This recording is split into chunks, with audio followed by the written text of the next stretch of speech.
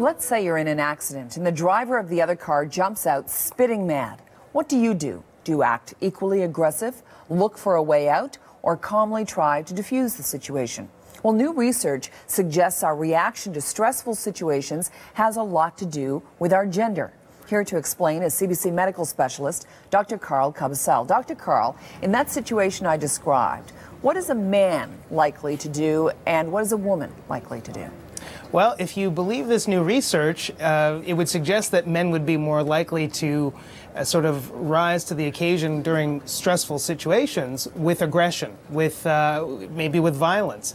And the reason why is because of the Y chromosome, and specifically a gene on the Y chromosome called SRY. So we've known that this uh, gene regulates whether a fetus turns into a boy or a girl, by uh, activating the testicles to produce male hormone. But what this new research is, is sort of coming out with is that that same gene has influences in other parts of the body too. Okay, and it manifests itself in terms of stress. Well, that's right. So that gene apparently can increase blood pressure. It can help with voluntary muscle movements as well as sort of the baseline tone of your muscles. So you're sort of ready for action. And this uh, gene may help to sort of set you up for that action if you're a man. Okay, and so uh, so this is very specific to men. Uh, is the research reliable? Well, that's where it's uh, it's a little shaky. Now, it did appear as a, sort of a, a, an opinion piece, or a, not even an opinion, but more a speculative piece based on a lot of animal research.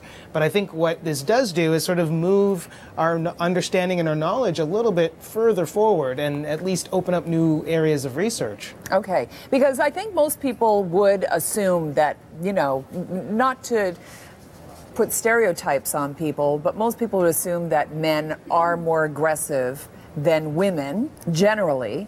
Right. Um, but now we know why.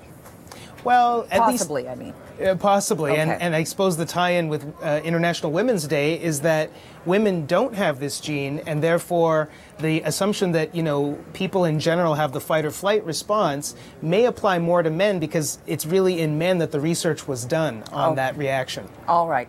Um, so, are we? What what insights will this give us in terms of managing stress for men? Well, I think these are really early days, and, and you know we may be hopeful that one day it can lead to some sort of gender-specific treatment for stress-related illnesses, for example. But in the meantime, everybody deals with stress every day, and there are some practical things you can do.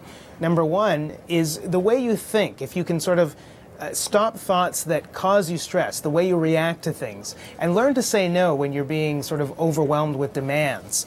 The other thing you can do is to sort of take control of your life and be assertive and speak up. Oftentimes, stress can be generated by sort of uh, feeling powerless or not uh, in control of your life, if you will. And finally, don't do it alone. Ask for help build a supportive network because, you know, the more you can sort of share a problem, the less stressful it'll feel like you're sort of taking on the whole world by yourself. All right.